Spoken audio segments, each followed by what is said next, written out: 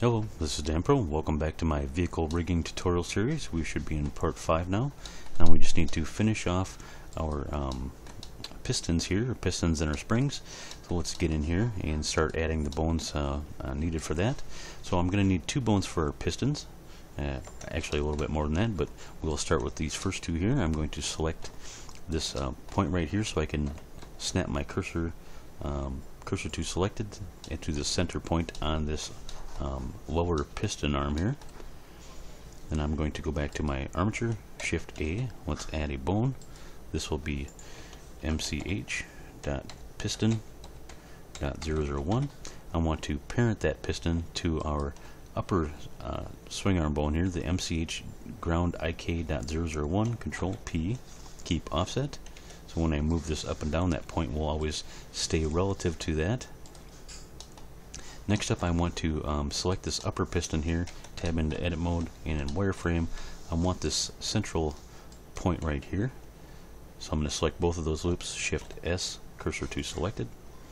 I can go back to my armature again, and I'm just going to duplicate my piston.001, shift D, and then I'm going to do shift S, selection uh, to cursor to pop the um, head of that bone to that position. Now I can, uh, with the cursor already there, I can select piston.001, shift S, selection to cursor, and now I can select this lower point, shift S, um, cursor to selected, and then shift S, selection to cursor. So now I have two bones that are pointing at each other. This upper one, the piston.002, that needs to be parented to our body bone. So it needs to stay relative to this upper shock mount here and now I can uh, align these axes here. I think they're a little bit wonky so I'm just going to straighten these out. So the x-axis is straight with the world. And this one let me see if I roll that. I can just point this the same direction I guess if it'll allow me to. And uh, this is actually not really necessary but uh, I always feel better about it if they're aligned uh, a little bit better. I'm going to select both of these bones with the proper parenting, I can scale them down. They don't need to be, be so large. I like to snap them uh, to their endpoints though, so I know that they're pointing exactly at each other. Next up, I'm going to need a target for each one of these bones. So I'm going to select them both because they're already set up with their parenting. Shift D, I'm going to scale these down. These will be our new targets. This upper one here will be piston target dot zero zero one. so it's going to be the target for this lower piston here, the piston.001, and let me just do Control C to copy this, and then Control V to paste it on this lower one. So now I have the piston target down here for our upper piston.002. So I'm just going to quickly do this with a um, damp track constraint.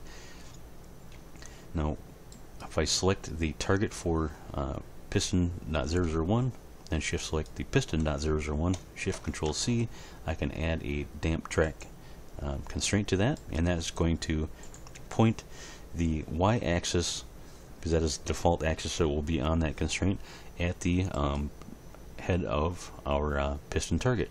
Now we just need to repeat this process. I need to select our piston target.002, shift select piston.002, which is going to get the constraint, shift control C, add damp track, and again it's configured correctly so now when I move this up and down those two bones will actually point exactly at each other. And we move our body bone here.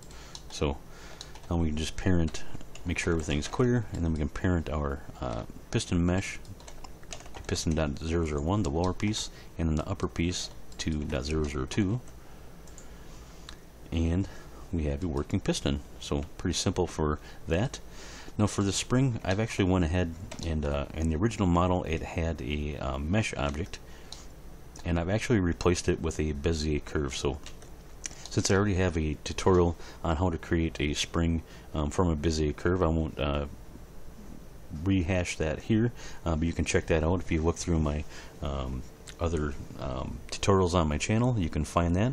So the reason I've done this is I've actually found uh, that uh, Bezier curve is actually a better way uh, using a Bezier curve for a spring. So, but it is a little bit odd because whenever you um, uh, use a Bezier curve, there is um, some weirdness to it. So what I'm going to do is I'm actually going to select all of my um, spring bones here, and they are Bezier curves, and then shift select our body, control P, I'm going to parent them to that bone.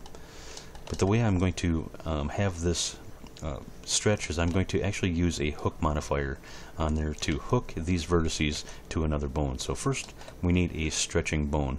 Now I want a bone that's going to stretch from this upper shock mount here so I'm going to select this loop, shift S, cursor to selected, and I'm going to add that bone there.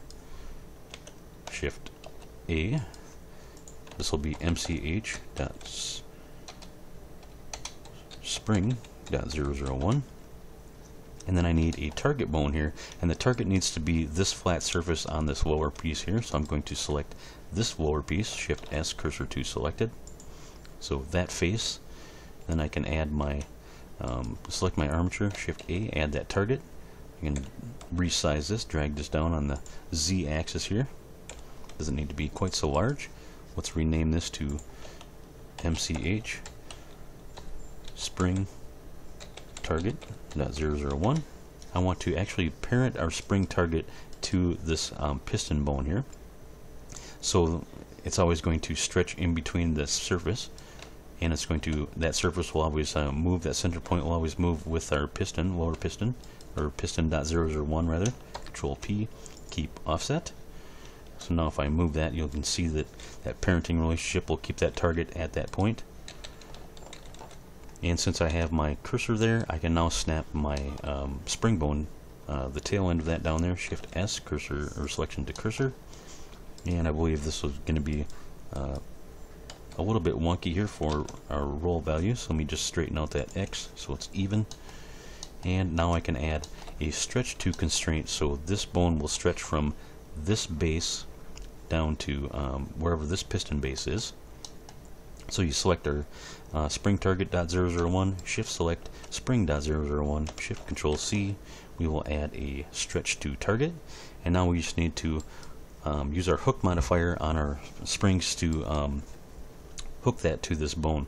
So you'll notice that I, I parented these to the body bone because I wanted our springs to move with our body bone, but the way I'm going to make them stretch, uh, like I mentioned before, is going to be with a um, uh, hook modifier. So in order to use a hook modifier to a bone, when you want to hook a vertices of a um, of a curve object to a bone, you want to pre-select the bone you're going to hook to. That will be our MCH spring.001. Then shift select the Bezier curve, and then tab into edit mode. Make sure that all of the vertices you want to hook to that object or that bone are selected, and then you can do Control H, hook to selected object bone, and that will add a hook modifier to that um, Bezier curve, and you can see it over here, and it is targeting our MCH spring.001, and now we have a stretching spring.